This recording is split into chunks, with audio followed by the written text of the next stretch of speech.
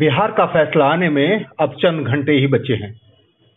हमारे साथ हैं सत्ता के प्रबल दावेदार समझे जा रहे महागठबंधन के प्रमुख घटक राष्ट्रीय जनता दल के राज्यसभा सदस्य और प्रवक्ता मनोज झा जी। मनोज झा जी न्यूज़ क्लिक में आपका स्वागत है। मैं सबसे पहले जानना चाहता हूँ कि एग्जिट पोल तो आपके यानी महागठबंधन की जीत दिखा रहे हैं लेकिन आपका यानी आपकी पार्टी का खुद का क्या आकलन है? देखिए एग्जिट पोल को हमने कभी कोई तवज्जो खास दी नहीं है। पंद्रह का भी एग्जिट पोल हमें याद है, और अभी देखिए पोल का मिजाज आपको प्रथम चरण में ही स्पष्ट हो गया। प्रथम चरण में ही जिस प्रकार का संदेश मैं समझता हूँ, उन तमाम विधानसभा क्षेत्रों से आ रहा था, उससे स्पष्ट था कि बहुत बड़े बदलाव की ओर बिहार अग्रसर है। उसमें कहीं किंतु परंतु अगर मगर की गुंजाइश नहीं थी। और मैं समझता हूँ तीसरे चरण के आते आते आ, वो चीज़ें बिल्कुल एक जैसे साफ़ इबारत लिखी जाती है दीवार पे वो लिख दी गई तो मैं समझता हूँ कि इसमें सबसे बड़ा कॉन्ट्रीब्यूशन इस बात का है कि बिहार की आवाम ने नेता प्रतिपक्ष के साथ जिस प्रकार जमीनी मुद्दों के प्रति अपने अपने कमिटमेंट को अपनी प्रतिबद्धता को क्षण भर के लिए नहीं छोड़ा चाहे कितनी कोशिशें हुई भाजपा और जदयू की तरफ़ से इसमें आ, मैं समझता हूँ कल इस वक्त जब हम अभी आपसे बात कर रहे हैं चौबीस घंटे के अंदर इस बात की तस्दीक हो जाएगी कि बिहार ने देश की राजनीति को एक नई दिशा दी है और जो थोड़ी परेशानी वाली दशा उसे बदलाव के पीछे नहीं आपको ऐसा क्यों लगता है कि आपको जीत मिलने जा रही है? आपके किन मुद्दों को जनता ने पसंद देखिए इस बात आ, मैंने कहा ना जैसे कि जब चुनाव में आप जाते हैं और अगर जनता का नैरेटिव और आपका नैरेटिव नहीं खा जाता। जनता का नैरेटिव क्या था? पूरे पूरे बिहार में एक बार, दस लाख नौकरी। जनता का नैरेटिव क्या था कि जीविका दीदी को मैं समझता हूँ कि मानदेय में बढ़ोतरी आशा कर्मियों के मानदेय में बढ़ोतरी आंगनबाड़ी सेविका सहायकों के मानदेय में बढ़ोतरी, समान काम के लिए समान वेतन, जिसके लिए लोगों ने लाठियाँ खाई यहाँ। या संविदा के नाम पर ये लोगों का खून चूसा जा रहा था।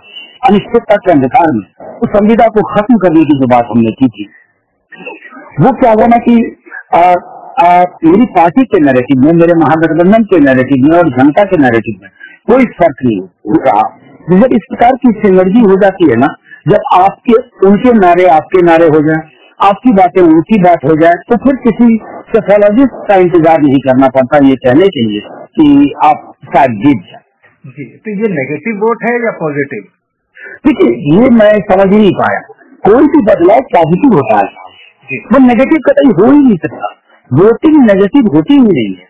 ये जो लोग इस तरह की थियरी पता नहीं पोलिटिकल थियरी में तो इस तरह की थियरी है नहीं। कहीं अब लोग थियरी गढ़ते हैं। तो मैं साफ़ करके कहूँ इस हाईली पॉजिटिव वोट ये बदलाव के लिए है। ये मैं समझता हूँ कि समकालीन हिंदुस्तान में पहली बार लोगों ने अपनी थाली पर वोट किया है। अपने रोज़गार पे वोट किया अपने सरोकार पे वोट किया। तो ये जो आपका गठबंधन बना कांग्रेस और लेफ़्ट इसका आपको क्या फ़ायदा हुआ खासतौर से? देखिए कांग्रेस देख रहे हैं। मैं एक बात बता रहा हूँ कि जैसे कई लोग जो दिल्ली में बैठे हैं वो लेफ़्ट को उस रूप में नहीं समझ पा रहे हैं।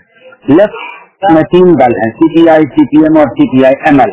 फिर कांग्रेस के साथ एक हमारा पुराना नैसर्गिक रिश्ता रहा है।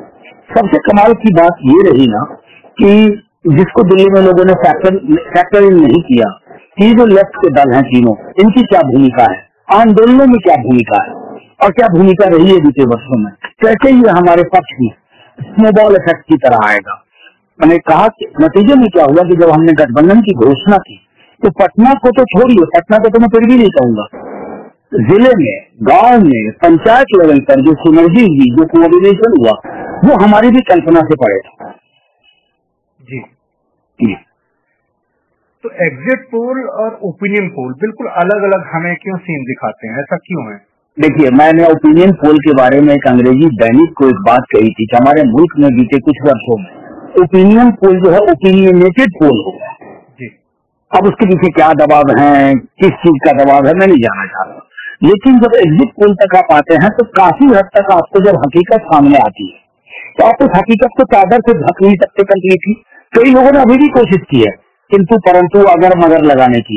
लेकिन मैं ये बता रहा हूँ कि ओपिनियन पोल से जो यात्रा शुरू की कुछ चैनल्स में एग्जिट पोल तक आते आते उन्हें लगा कि अगर इस प्रकार से हम हकीकत को छुपाने डुबाने हिलाने हटाने की कोशिश करेंगे तो शायद जो भी दो प्रतिशत क्रेडिबिलिटी बची रही है वो तो खत्म हो जाएगी। तो क्या ईवीएम भी आपका साथ देगी? निश्चित तौर पर ये देखिए मैं एक बात बता दूँ। जब जन उभार जन आंदोलन हो जाता है ना मतदान तो किसी के लिए भी बड़ा मुश्किल है कोई मैनिपुलेट करना।